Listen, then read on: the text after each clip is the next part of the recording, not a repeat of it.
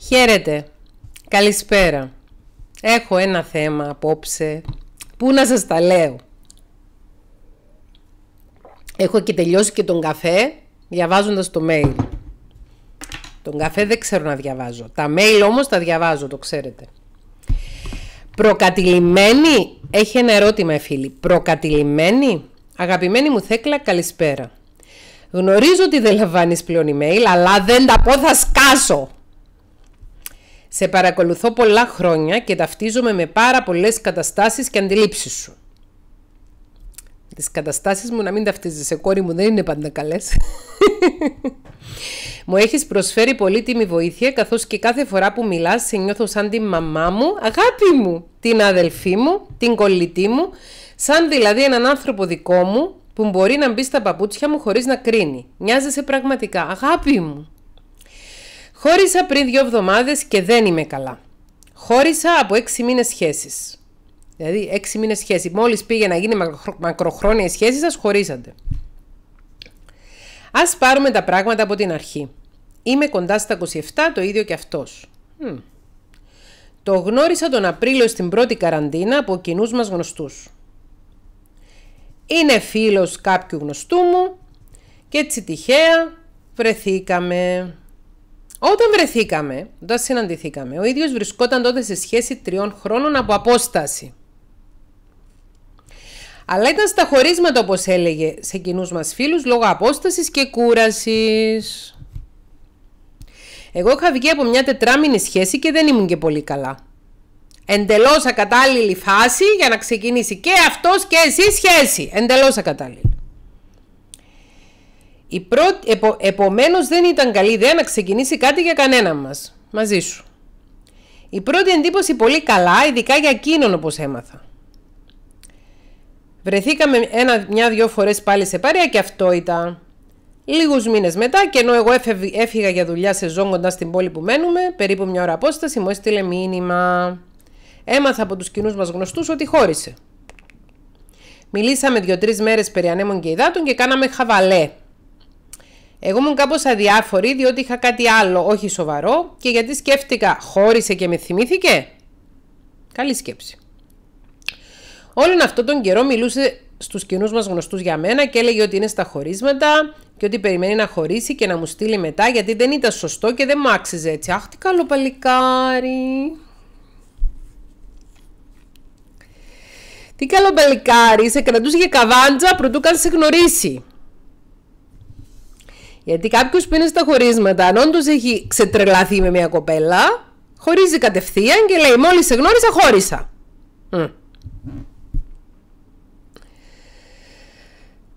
Αφού λοιπόν βρήκε τείχος στα μηνύματα, σταμάτησε να στέλνει. Έδιωξα αυτό το ανούσιο που είχα και λίγες μέρες μετά έστειλα εγώ, συνεχίζοντας το χαβαλέ και έτσι ξεκίνησαν όλα. Είδες εσύ, επειδή ήθελες να κάνεις κάτι μαζί τους, σταμάτησες αυτό το ανούσιο που είχες και τότε ανταποκρίθηκες. Ήταν πολύ ενθουσιασμένος, άρχισε να έρχεται στο μέρος που ήμουν, κουρασμένη, κουρασμένος και μετά τη δουλειά για να με δει στο μία μέχρι τρεις ώρες και πάλι πίσω. Λουλούδια, εκπλήξεις, νίκες δωμάτιο κάποιες φορές και ανυπομονούσε πότε θα γυρίσω πίσω για να το ζήσουμε κανονικά. Εγώ πάλι δεν ήμουν ενθουσιασμένη ούτε ερωτευμένη. Κάτι μέσα σου σου έλεγε να κρατηθείς. Κάτι μέσα σου. Με κολάκευε απίστευτα ο χαρακτήρας του, τα πόσα έκανε και έδινε για μένα. Σπάνιος έλεγα, αλλά ήμουν προκατηλημένη. Μήπως ήταν τον κάτι instinct σου που σε προειδοποιούσε; Δεν μου φαινόταν υγιές το πόσο γρήγορα προχώρησε, πόσο γρήγορα ξέχασε μια σχέση τριών χρόνων. Ήταν έτοιμος; Παρ' όλα αυτά δεν έδωσα σημασία, δεν με ένοιαζε κιόλας. Γύρισα πίσω, οι μήνες περνούσαν, αλλά πάλι δεν ένιωθα να τρελαίνομαι ώσπου τα Χριστούγεννα με χώρισε για να μην προλάβω να το χωρίσω όπως είπε. Πόσο ανώριμος σκέφτηκα. Καλά σκέφτηκες. Ταρακουνήθηκα όμως, του είπα να έρθει να μιλήσουμε και από κοντά γιατί δεν κατάλαβα και πολλά. Μου είπε ότι δεν πάει άλλο, ότι δεν μπορεί να δίνει μόνο αυτός και ότι δεν ήταν φυσιολογικό στην ίδια περιοχή να βρισκόμαστε μόνο μια φορά την εβδομάδα και ότι δεν είναι εβδομαδιαίος γκόμενος. Ωραίος αυτός. Δεν είμαι εβδομα... εβδομαδιαίος γκόμενος και ότι θέλει ένταση και πάθος και ότι εγώ δεν ανοίγομαι και δεν αφήνομαι και νιώθω ότι δεν το θέλω. Είχε δίκιο. Του είπα ότι θα προσπαθήσω και ότι θέλω το χρόνο μου να ανοιχτό. Μου είπε ότι αν είναι να είμαστε όπως πριν δεν θέλει και θα αρχίσει να ξενοκοιτάει στο τέλος. Με εκβιάζεις το ρώτησα. Πάρ' το όπως μου θες μου απάντησε. Πάρ' το όπως θες μου απάντησε. Δηλαδή σε εκβιάζω.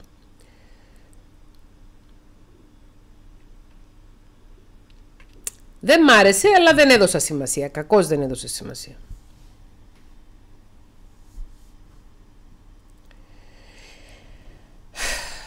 Πέρασαν δύο μήνες, όλα πολύ καλά. Άρχισα να ανοίγομαι, να δείχνω, να νιώθω ότι τον θέλω και ότι είμαι ευτυχισμένη. Και άρχισε αυτός να αλλάζει. Ένιωθω, ένιωθω ότι κάτι άρχισε να αλλάζει. Δεν μου μιλούσε με τον ίδιο γλυκό τρόπο, σαν άρχισε να βαριέται, σαν επαναπαύτηκε.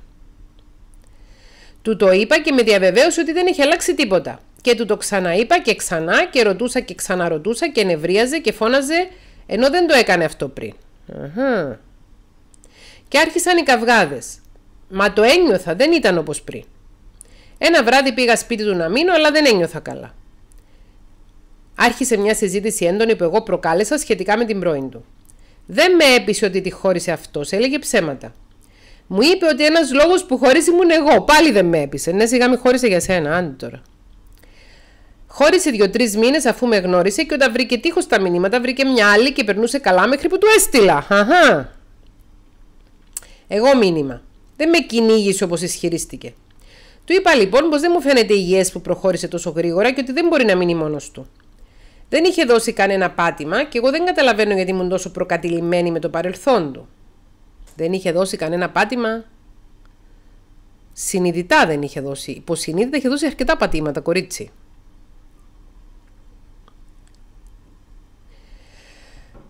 Υπόθηκαν βαρδιές κουβέντες εκείνο το βράδυ και από τους δύο. Μου είπε ότι αν το θεωρώ τόσο αδύναμο, τι κάνω εκεί, να σηκωθώ να φύγω και του είπα ότι αυτό θα κάνω μόλις ξυπνήσω και δεν ξαναμιλήσαμε. Δεν καταλαβαίνω τι έχει γίνει. Μήπως είμαι όντως προκατηλημένη, υπερβολική και καχύποπτη και άφησα κάτι αξιόλογο να χαθεί; Το κάτι αξιόλογο δεν χάνεται. Δεν χάνεται με έναν καυγά το κάτι αξιόλογο. Μήπως το έχω εγώ το πρόβλημα; Είμαι σε τέλμα. Κάθε βοήθεια σου ειλικρινά πολύτιμη. Ευχαριστώ από τα βάθη της καρδιάς μου με εκτίμηση. Λοιπόν αυτό το βίντεο είναι ένα βίντεο το οποίο θα το βάλω στα σως Αρχίσα και τα, βάλω, τα βάζω όλα στα σως τελευταίως και τα σως δεν θα έχουν κανένα νόημα γιατί έχω χίλια βίντεο μέσα. Επειδή ξεκαθαρίζει τι σημαίνει gut instinct. Τι σημαίνει διέστηση, κοπελάρα μου. Εσύ από την αρχή που τον είδες, η διέστηση σου σε ενημέρωσε ότι ένας άνδρας που έχει τρία χρόνια σχέση, από απόσταση έστω, και ο οποίος λέει ότι έχει προβλήματα η σχέση του και λέει στους κοινούς σας φίλους ότι του άρεσες, Παράλληλα όμως προσπαθεί να σώσει τη σχέση του. Δεν σώζεται η σχέση του. Όταν τελικά χωρίζει, σου στέλνει μηνύματα. Εσύ δεν ανταποκρίνεσαι γιατί έχεις κάτι άλλο και δεν θε να σε εντάξει. Αμέσως βρίσκει κάτι άλλο να περάσει. Και μετά, όταν εσύ τον ψάξεις, επειδή προφανώς του αρέσεις περισσότερο από το κάτι άλλο, ανταποκρίνεται ξανά. Και συνεχίζουμε και συνεχίζουμε και συνεχίζεται. Δεν ένιωθες εμπιστοσύνη να ανοιχτείς επειδή ένιωθες ότι αυτός ο άνθρωπος έκανε προβολή πάνω σου συναισθήματα που δεν σου ανήκαν. Δεν ήταν για σένα κορίτσι μου. Η ψυχή μας το νιώθει, η ψυχούλα μας το νιώθει, η καρδιά μας το νιώθει, η διέστηση μας, τον κάτι στιγμή μας ξέρει αν ο άλλος που μας πουλάει αγάπες και έρωτες μας τις πουλάει ή τις νιώθει πραγματικά. Άνδρα ο οποίος σε κάνει να προβληματίζεσαι για το διέστησή σου και για το ένστικτό σου και σε κάνει να νιώθεις ότι είσαι προκατηλημένη και καχύποπτη και έχεις αφήσει κάτι πολύτιμο να χαθεί, μην το σκέφτεσαι σαν κάτι πολύτιμο που άφησες να χαθεί. Η πραγματική αγάπη δίνει ευκαιρίες. Ουσιαστικές ευκαιρίες, όχι βλακίες. Ουσιαστικές ευκαιρίες. Ο τρόπος με τον οποίο αντέδρασε αυτό σε διάφορες περιπτώσεις και το γεγονός ότι σε έκανε να το ανοιχτείς και μετά που σε έκανε να το ανοιχτείς τότε σε απέρριψε, Δείχνει ακριβώς ότι τα συναισθήματα που έδειχνε προς εσένα ήταν προβολή, δεν ήταν αληθινά συναισθήματα. Η αληθινή αγάπη αντέχει την ανταπόδοση. Την επιζητεί, την επιδιώκει και την αντέχει την ανταποδοτικότητα των συναισθημάτων. Δεν τη φοβάται. Αυτοί που θέλουν να κυνηγάνε τον άλλον, να τους απορρίπτει και φτιάχνονται με το να τους απορρίπτει και όσο τους απορρίπτει το θέλουν και άμα τους θέλει δεν το θέλουν, αυτοί οι άνθρωποι δεν είναι υγιείς προσωπικότητες. No. Όχι. Όχι. Και δεν κάνουν σχέση μαζί σου, κάνουν σχέση με τον εαυτό τους και με την ψυχοπάθειά τους. Και μπορεί και εμείς να έχουμε βρεθεί σε αυτή τη θέση. Μπορεί και εμείς να κάναμε μια σχέση όπως αυτό το ανούσιο που είχες εσύ το καλοκαίρι, αλλά είχες την εντυμότητα να το διακόψεις. Καθένας μας μπορεί να βρεθεί σε αυτή τη θέση. Άνθρωποι είμαστε, λάθη κάνουμε. Μπορεί να νιώθουμε ότι θέλουμε πάρα πολύ να ερωτευτούμε, να είμαστε ερωτευμένοι με τον έρωτα. Στο βιβλίο μου Έρωτας υπάρχει ένα κεφάλαιο ερωτευμένος, ερωτευμένοι με τον έρωτα. Νομίζω. Δηλαδή, γιατί τώρα έχω αρχίσει να ασχολιέμαι με το επόμενο και έχω ξεχάσει αυτό που θα βγει. Έχω ξεχάσει πια τους τίτλους των κεφαλαίων ενώ το έχω ξεχάσει. Λοιπόν, δεν ήταν έρωτας αγάπη μου, ήταν προβολή. Κατά τη γνώμη μου πάντα, διατηρώντας κάθε επιφύλαξη, γιατί είπαμε ότι στα email δεν κάνουμε διαγνώσεις, ρωτάτε απόψεις, λέω απόψεις. Καλό θα σου κάνει να κάνεις ένα γύρο ψυχοθεραπείας, αν δεν πήγαινε και εσύ όπως πάμε κι εμείς. Πάνε να κάνεις ένα γύρο ψυχοθεραπείας, να ενισχυθείς, να συνέλθεις, να συνειδητοποιήσεις ποια είναι τα δικά σου θέματα και ποια είναι το αλλουνού. Δεν θα λύνουμε εμείς τα θέματα του αλλουνού, τα δικά μας θα λύσουμε. Και θα σου πω μια κουβέντα που μου έχει πει ο γιος μου, ο οποίος είναι 23 χρόνων ο Λάζαρος, 23 και μισό μου είπε σε ανύποπτο χρόνο, σε αυτή την ευλογημένη πρώτη καραντίνα, μου είπε ρε μάνα, δεν κουράστηκες να αναλαμβάνεις projects. Το λέω τι εννοείς; Δεν σε φτάνει η δουλειά σου. Γιατί κουμάνα να αναλαμβάνεις project αναδιάρθρωσης ανδρών;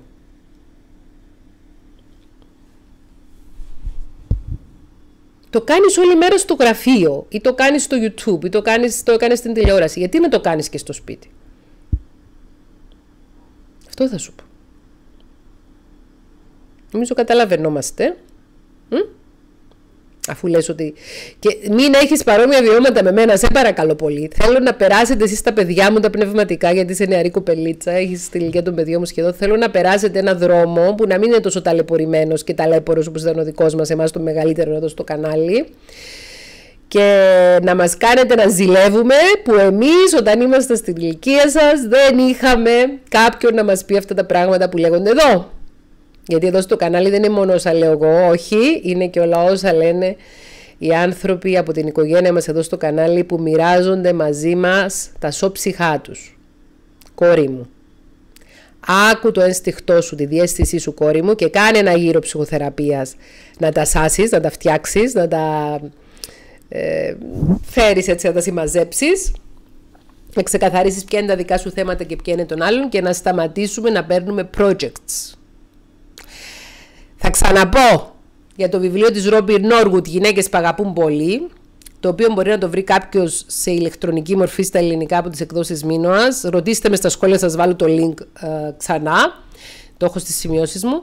Και ε, για αυτό το βιβλίο, όσοι βρίσκονται στη συμμετοχή στο κανάλι, κάθε Δευτέρα βγάζουμε ένα βίντεο κανένα 45 λεπτό που διαβάζω από εκείνο το βιβλίο, το οποίο είναι συγκλονιστικό και όσες είμαστε γυναίκες που αγαπάμε πολύ, ή όσοι είμαστε άνθρωποι που αγαπάμε πολύ, που αναλαμβάνουμε ε, ε, φιλανθρωπικές περιπτώσεις γκόμενων, που σου είπε εγώ δεν είμαι εβδομαδιαίος γκόμενος, ε, πρέπει να του πεις και εγώ δεν είμαι φιλανθρωπικό ίδρυμα. Να προβάλλεις πάνω μου πράγματα και εγώ να πρέπει να, το, να προσπαθώ να συνδεθώ με σένα που δεν συνδέσει ουσιαστικά μαζί μου, προβολικά συνδέσαι και να νιώθω ότι είμαι και καχύποπτη και προβληματική και έχασα το κελεπούρι. Τέτοιο κελεπούρι να χαθεί παρακαλώ.